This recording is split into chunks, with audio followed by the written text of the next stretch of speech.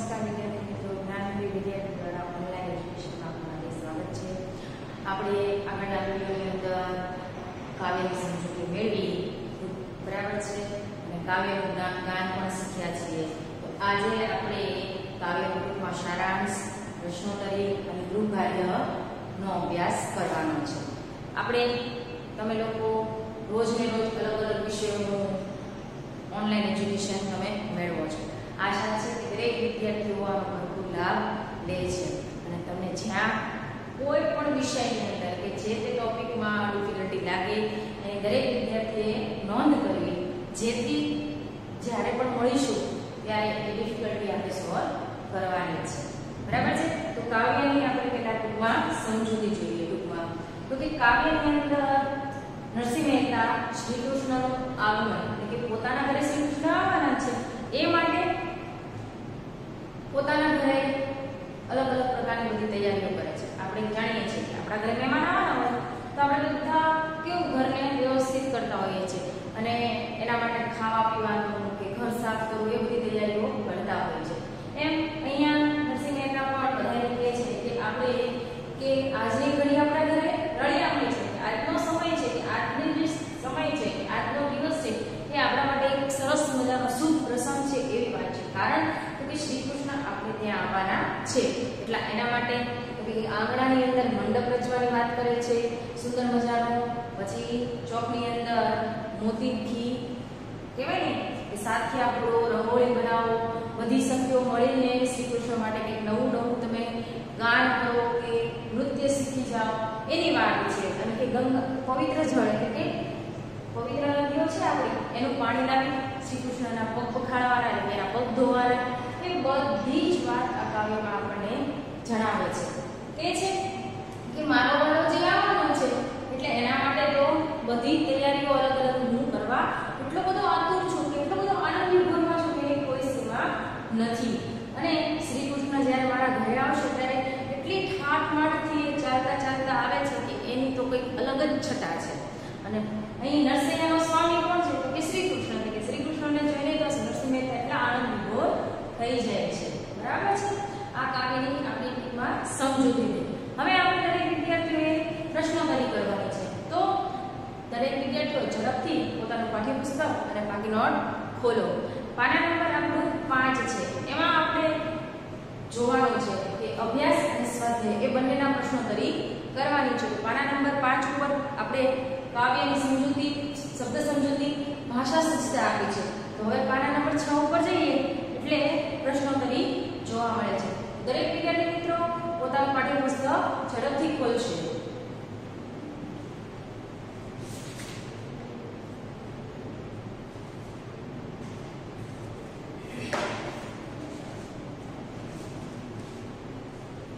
અભ્યાસમાં પ્રશ્ન પહેલો છે કે સાચો વિકલ્પ પસંદ કરો ગંગા જમવાનું નીર મંગાવવાનું કારણ તો કે ચોક છાંટવા પવિત્ર પાણી પીવા માટે ભગવાનના સ્નાન કરવા માટે કે પગ પખાડવા માટે? ચલો કોણ જવાબ આપશે? હા સરસ.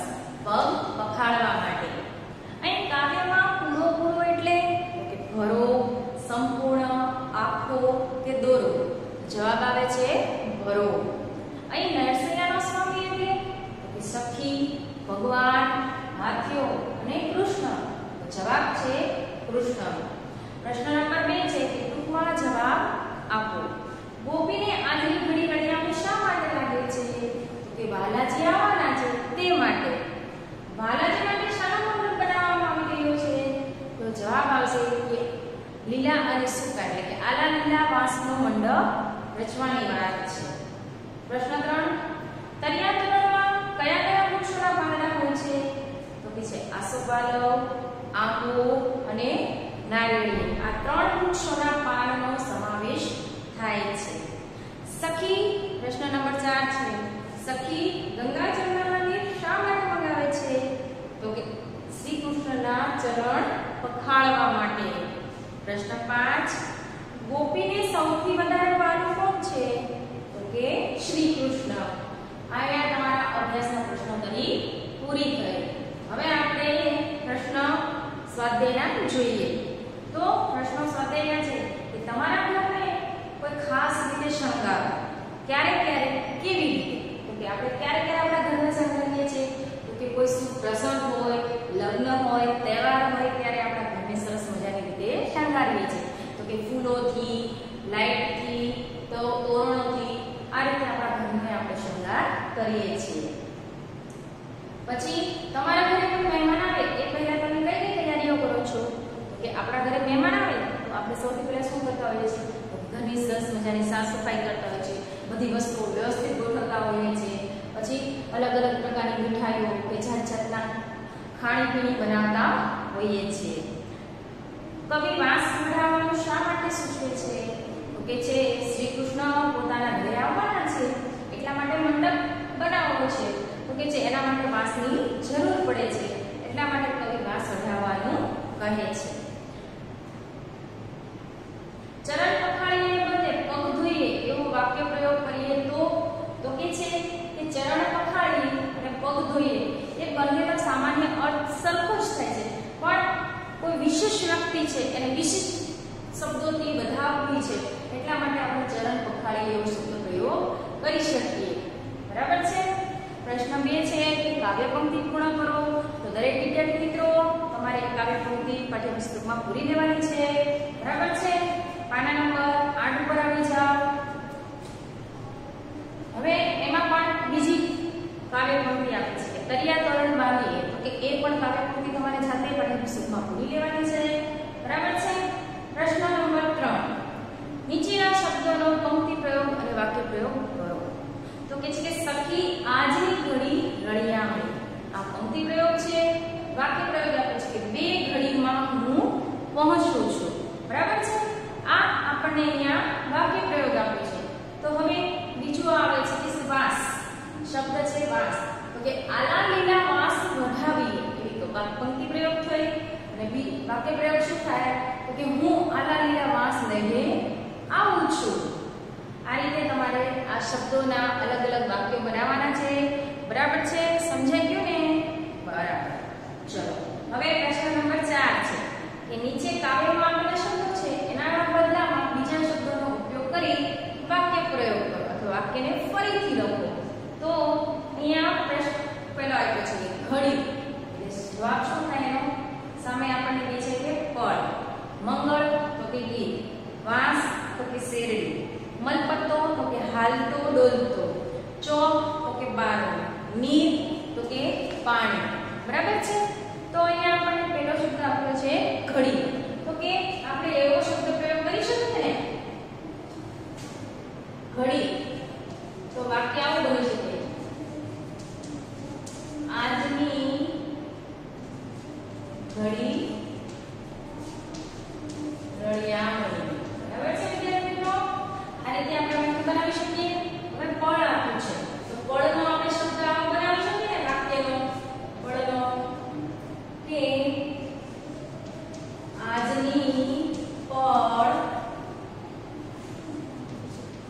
રળિયામણી બરાબર છે તો કે ઘડી શબ્દ અને પળ શબ્દ ફક્ત શું થાય છે કે શબ્દનો જ તફાવત છે વાક્ય તો આખું આપણે એમ નામ લખવાનું છે બરાબર છે સમજાઈ ગયું દરેકને આ રીતે આપણે બધા શબ્દોના વાક્યો બનાવવાના છે એના પછી પ્રશ્ન નંબર 5 છે કે નીચેના સમાનાર્થી શબ્દોના ઉદાહરણ પ્રમાણે વાક્ય પ્રયોગ કરો.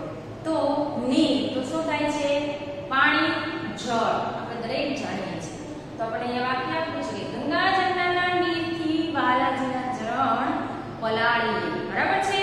તો હવે આપણને એક શબ્દ આપ્યો છે ચરણ. તો આપણે અહીંયા લખવાનું કે ચરણ એટલે શું થાય તો કે પગ અને પાય આવું થાય છે બરાબર છે હવે વાક્ય પ્રયોગ કરવાનો છે ઓકે શિષ્ય ગુરુના ચરણની રજ માથે ચઢાવે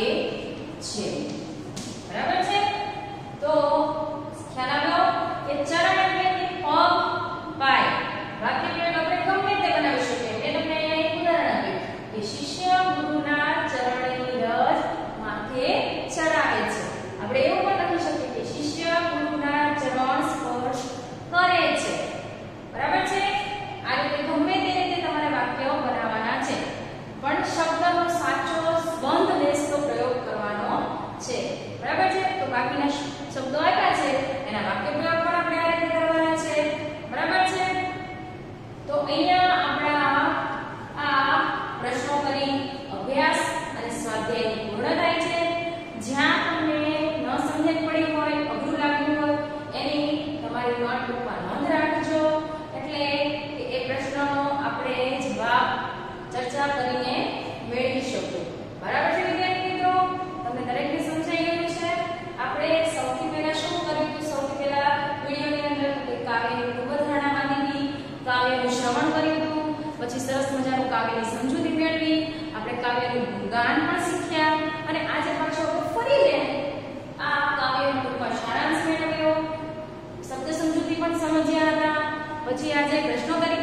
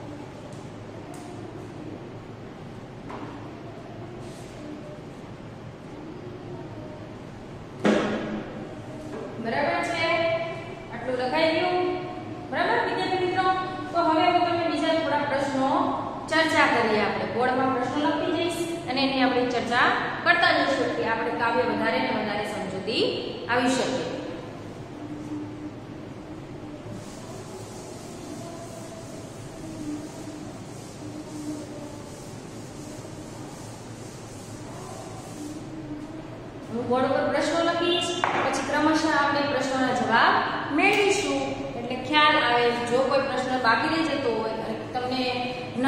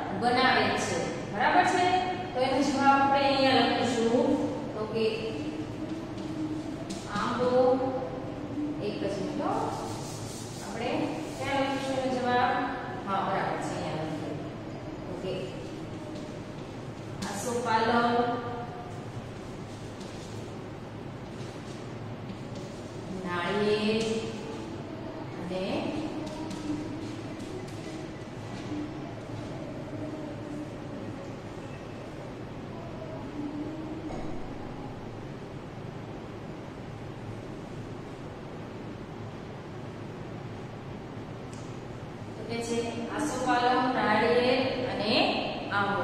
પ્રશ્ન ચાર છે. સખી ચોક શેનાથી પૂરવા કહે છે? કે ચકી સખી ચોક મોતીડા બરાબર છે?